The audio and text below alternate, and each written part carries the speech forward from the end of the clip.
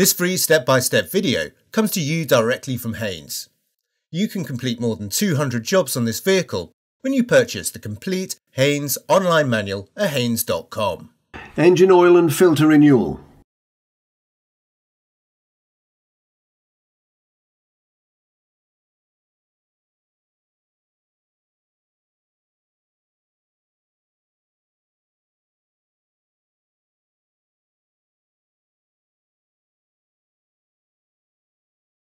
Apply the handbrake. Chock the rear wheels. Position the jack under the vehicle. Raise the vehicle using the jack, position axle stands, then lower the vehicle onto the stands. Remove the jack. Undo the two retaining bolts and remove them. Pull the cover away from the engine and remove it from the vehicle. Position an oil drain container under the vehicle. Using a spanner, socket or Allen key as applicable, slacken the drain plug about half a turn. Position the draining container under the drain plug, then remove the plug completely.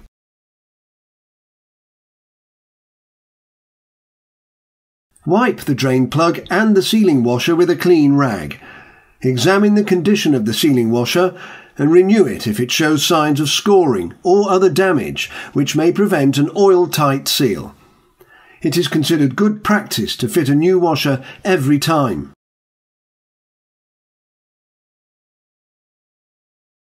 Clean the area around the drain plug opening and refit the plug complete with the washer and tighten it.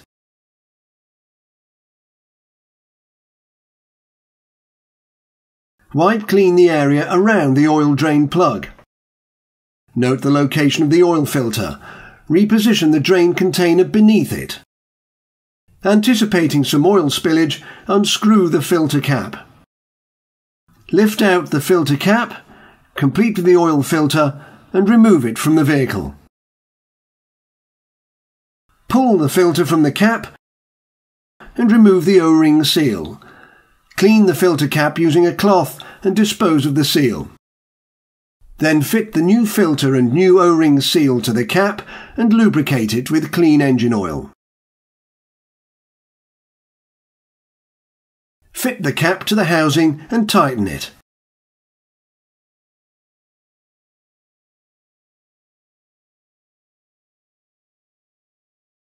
Raise the vehicle using a jack. Remove the axle stands and lower the vehicle. Remove the jack. The chocks should be removed from the rear wheels. With the car on level ground, remove the oil filter cap and add the oil, using the correct grade and type of oil. Pour in half the specified quantity of oil first, then wait a few minutes for the oil to run to the sump.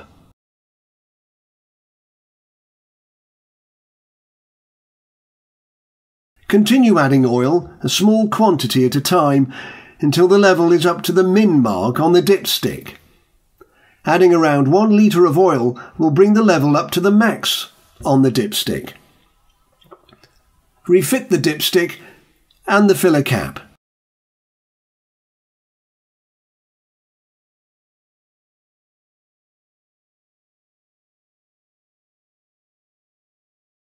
Stop the engine and wait a few minutes for the oil to settle in the sump once more.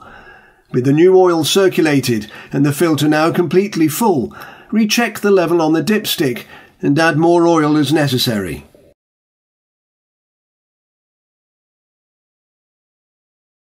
Apply the handbrake. Chock the rear wheels. Position the jack under the vehicle. Raise the vehicle using the jack, position axle stands, then lower the vehicle onto the stands. Remove the jack. Position the engine under tray. Refit and tighten the retaining screws to secure the under tray in place. This is how the under tray should appear once refitted showing the correct location of all screws. Raise the vehicle using a jack. Remove the axle stands and lower the vehicle. Remove the jack.